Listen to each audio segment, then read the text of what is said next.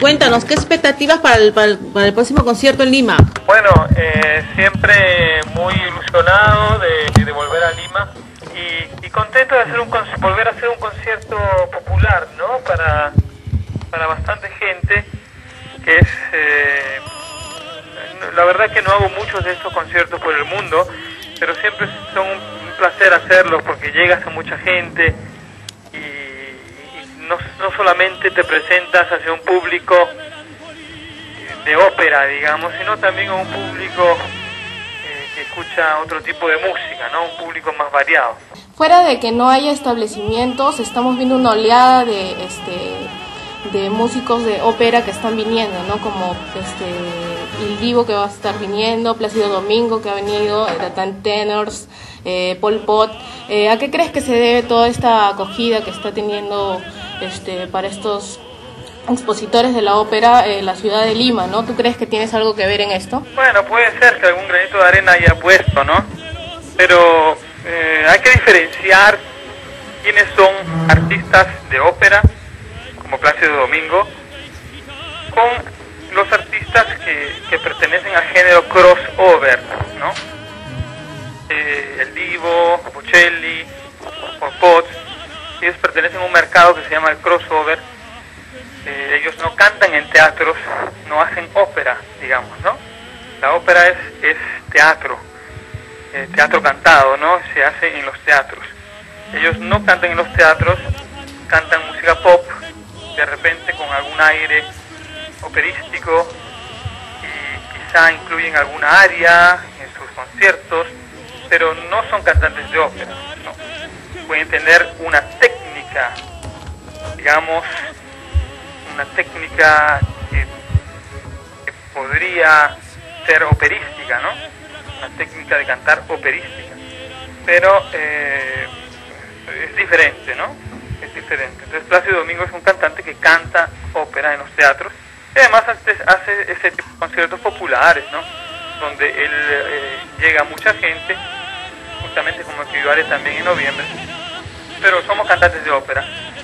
Eh, los demás, digamos, son cantantes crossover, ¿no? que yo también, digamos, aprecio y, y admiro algunos, ¿no? Pero es completamente otro otra cosa, digamos, ¿no? Juan Diego, tenemos entendido que también en este concierto que vas a realizar en Lima va a estar acompañado de, otro- de otros cantantes. Sí, en este concierto, bueno, la primera parte será dedicada a la ópera. La segunda parte será dedicada a la música popular, digamos.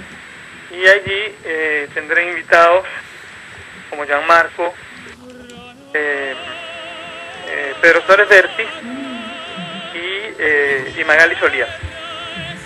¿Has tenido oportunidad de escuchar a Magali Solier?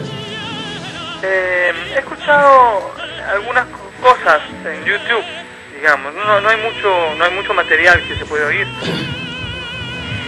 Y eso fue hace ya algún tiempo, ¿no? ¿Cómo así te animaste a, a- a incluirla en tu con los artistas que vas a cantar? Bueno, eh, yo supe de la, de, de, digamos, de, de- de- del triunfo de, la está en el, en, en Berlín, ¿no? Eso resonó mucho aquí en Europa y me pareció, después comencé a, a, querer saber más de ella, ¿no?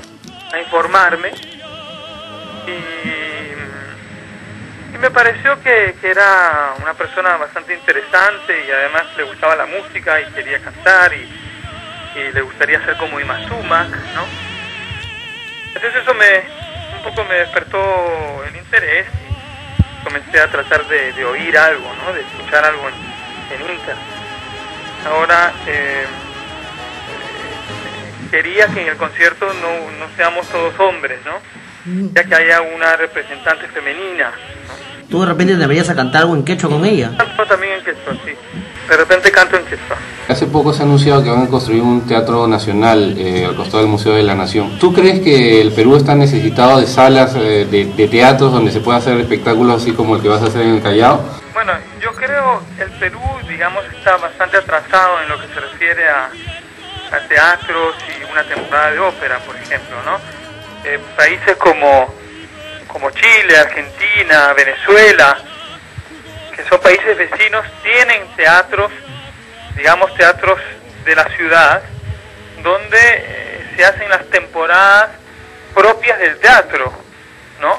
Haciendo títulos, títulos de ópera, conciertos sinfónicos, eh, espectáculos de ballet, por ejemplo, en Chile está el Teatro Municipal de Chile, es un teatro que hace siete óperas al año, además de conciertos, además de recitales, conciertos sinfónicos corales, eh, y eh, es la, digamos, en ese teatro se hace la temporada del teatro, ¿no? Con el coro, con la orquesta del teatro mismo.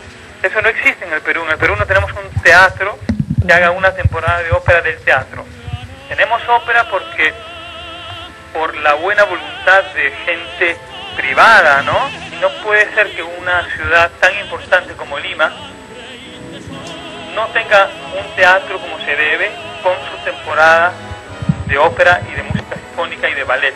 Ok, muchas gracias Juan Diego. Un saludo para la gente de Net Joven que me, que me escucha con mucho cariño.